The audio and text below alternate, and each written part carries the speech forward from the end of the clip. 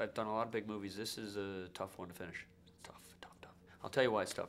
It's like doing an animated movie as well. You shoot the real movie, and then you you've got a lot of animation. You're doing character animation all the way to the very, very bitter end. It takes a long time to character animate all the acting performances of all the robots. Uh, this movie, we delve into the acting of the robots. It's just it's far superior than the first movie. So in terms of the the emotion you can get from these robots, the acting ability from the robots. Oh, that's my cell phone. That's so bad. Wow. Is that Hang on a sec. silly? Is Silly? that gonna, is that going to change into anything? Silly? Silly? I can't That's talk right now. I can't talk. there me we shut that guys. off. That's the official. Let feature. me shut that off. Sorry. I thought that was going to change into something then. Yes, it could have. Yeah. Bring it back later. Yeah, it's bigger, but uh, this is what I told the writers when we started. I said, let's pretend we're not doing a third one, and let's uh, make no cliffhangers. Let's make sure this movie holds up on its own. This movie starts off two years uh, right after the first movie. Now Sam is going to college, and he wants a normal life, grow up like a normal adult, not have an alien stuck in his garage. And uh, unfortunately, that's not how his life goes, and the story unfolds. And what's different about this movie than the last movie is the last movie it was like taking place in 10 square miles, you know, around LA, suburbia. Now we go to five different countries. We go halfway around the world. We go to Egypt, Jordan, uh, Shanghai, uh, Paris, um, and a bunch of places in America.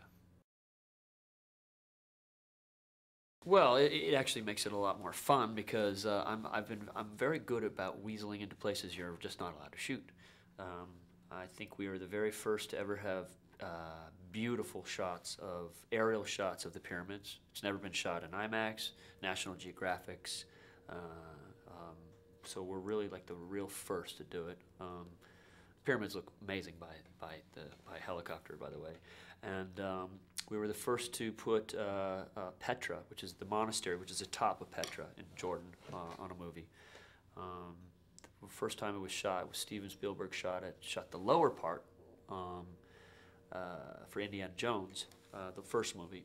Um, but we, you know, of course, because I wanted, I wanted to, to, to push the limits, and, and King, King Abdullah, and, and, and Prince Ali uh, from Jordan, they helped us. I literally, I think, take 36 helicopter loads to get our stuff up to the very top of the monastery. So it's pretty amazing to shoot uh, around these places that are 4,000 years old. We have very few explosions in this movie, by the way. There's a lot of different type of action. Yes, you see, he's very. Uh, it's hard to believe, isn't it? This one we were doing an IMAX forest fight, and I, you know, I direct very close to the action, and uh, a big rock just came right and just hit me in the forehead. Lucky he didn't get me in the eye. Um, but yeah, you're sometimes near them, and uh, they don't hurt, but they can be really loud, and you can get debris.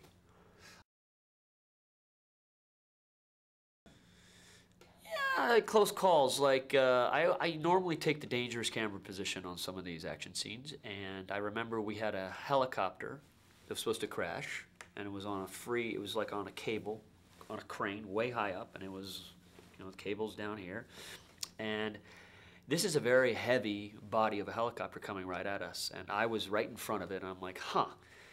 I think this is going to come a lot faster than we think. Why don't we back up a few feet? Made the decision right before I called action. And uh, yeah, it came really fast and hard at us. Uh-huh. A little scary. But I hung in there. um, I have to keep putting him down. But uh, that's how I keep him in line.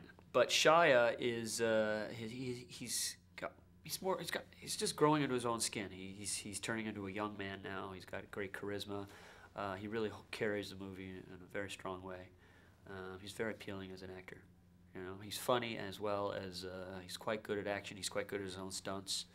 Um, so uh, it's a lot of fun to work with. Well, this one, uh, the relationship has advanced. Um, I can't tell you all the dirty details because it's not fit for PG-13 audiences. But uh, they uh, uh, they are forced to stay apart a bit because he's going back east to college, and uh, they are then thrust on this adventure where she joins back up with him uh, to help save him in a certain way, and uh, uh, they're it's kind of a, a rough, fun ride. They are. They there there is a lot of complex, fun little guys, mean guys that are this big, uh, to tiny little guys to guys that are uh, over 100 feet tall. Um, uh, we've got a geriatric old, crotchety old robot. Um, we've got a smooth English guy. We've got, uh, uh, I don't know, we've got some fun robots. Well, uh, he turned to me. Uh, he actually hit me several times during the movie, you know, which was a good thing. Um, and uh, he turned to me. He, he just said, "It's awesome." So it's nice to hear. He said to me, he says, you know, normally uh, movies like this will have like one show-stopping scene, you know, and he says this movie has like six of them. So that's nice to hear. Fantastic. So. I think it just it takes it all to a new level, and uh, it's still fun, and it's still got the charm of the first one. So I think it's a, it's, it really delivers a fun movie.